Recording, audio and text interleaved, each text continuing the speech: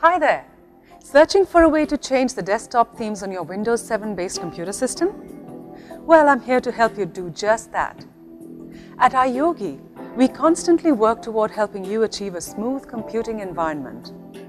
When you change your desktop themes, you can give a whole new look to your computer.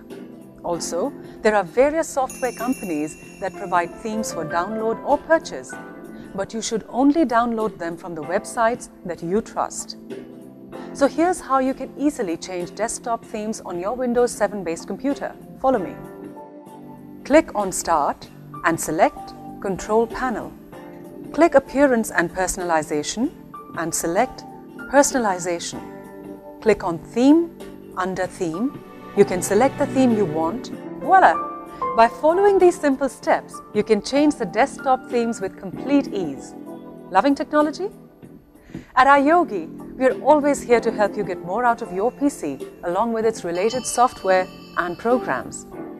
If you have questions on antivirus, security, protection, or on how to work your other devices with your PC, such as syncing your printer, MP3 player, camera, or router, etc., just give us a call. We'd be delighted to help. Go ahead, have fun with your computer. Good karma.